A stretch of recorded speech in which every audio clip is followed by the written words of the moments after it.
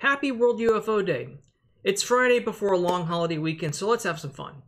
UFOs used to just be the stuff of the silver screen, conspiracy theorists, and guys with extra hubcaps and a camera. But if you've been paying attention to the news the past nine months or so, you'll have heard that the Pentagon has finally admitted to decades of UFO sightings by naval aviators all around the world. The guy next door with the tinfoil hat doesn't seem so crazy now, right? And who knows, maybe the CIA has been reading your brainwaves all this time too. Anyway, World UFO Day was organized in 2001 and was put together to bring together enthusiasts of UFOs and the evidence they've all gathered to support their existence.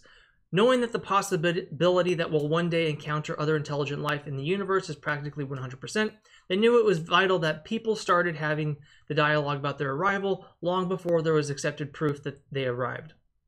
If you're looking for something to do this evening and none of your friends are calling, why not celebrate World UFO Day? Go watch some sci-fi movies and some have some out-of-this-world treats like neon green punch and ice cream shaped like the head of a, uh, an alien. You'll know you celebrated this day to the fullest if you can't go to sleep tonight because you're worried about abductions and probes. Even if you aren't a hardcore believer like Mulder and Scully, you may enjoy the idea of UFOs and aliens because it makes our universe a bit more fun. Most of our days are spent doing the exact same thing day in and day out.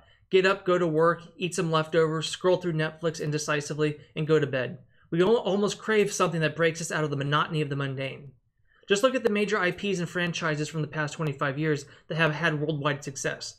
We are like kids in a candy store for stories, whether that's books, movies, games, or whatever, where some someone ordinary like us has something happen that makes moves them into a more extraordinary world.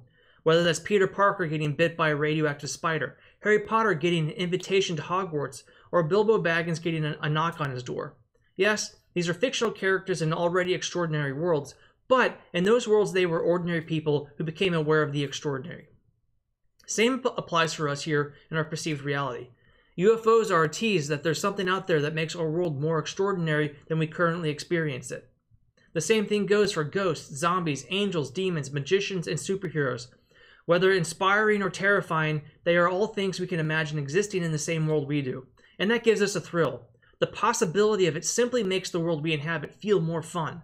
The actuality of it may be a different matter entirely, though. So, be careful what you wish for. Anyway, just over a month ago, I made a video about commitment and stated I was making a commitment to doing a daily video each week.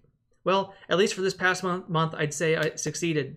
I hope you also made a commitment to yourself to do something for June that, you are now able to celebrate that accomplishment. It's been fun doing a happy day topic each day, and they've been a nice summer treat. But as we start heading towards our fall running season, I'm going to be structuring these videos differently to hopefully provide you with more information that will help you perform your best starting next week. If you have any questions or topics you'd like to talk about in the future, please drop a comment below or shoot me an email info at fitandable.net. If you don't mind, please share this video with your friends and family as they might hear something in it that helps them too. As always, thank you for racing with Fit and Able and have a great holiday weekend.